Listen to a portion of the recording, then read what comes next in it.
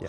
Other news tonight, sweeping changes could be coming to short-term rental properties in Wichita. This includes places like Airbnbs. Turns out many of the more than 400 properties are out of compliance with code, and now the city is looking to put some regulations in place. KSN's Hannah Adamson has more on this story. It's new at 10 tonight. Hannah?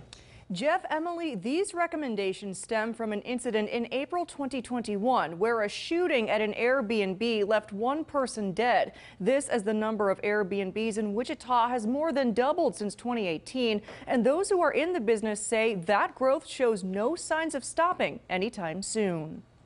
For the past year, Travis Dorian has been hosting guests at one of his properties through Airbnb and VRBO. He plans on listing two more short term rentals in the near future. The Wichita area is just starting to get traction in the Airbnb space. Dorian says while he and dozens of others in Wichita's tight knit short term rental community are all for additional health regulations and proper permits, he's currently questioning other proposed recommendations brought forth by the city. We're not opposed to it.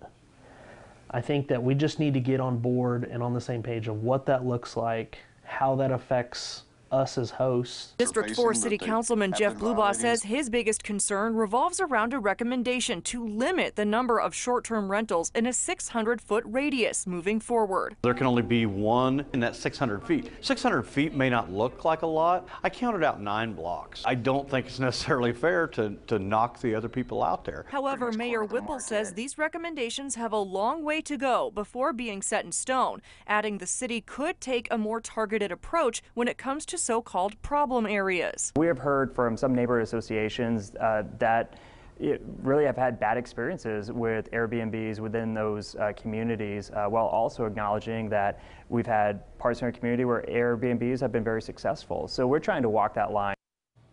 Blubaugh says he's asking for data in terms of how many complaints against short-term rentals the city has received. City officials emphasize if the 600-foot radius limit is put into effect, all pre-existing short-term rentals will be grandfathered into that policy.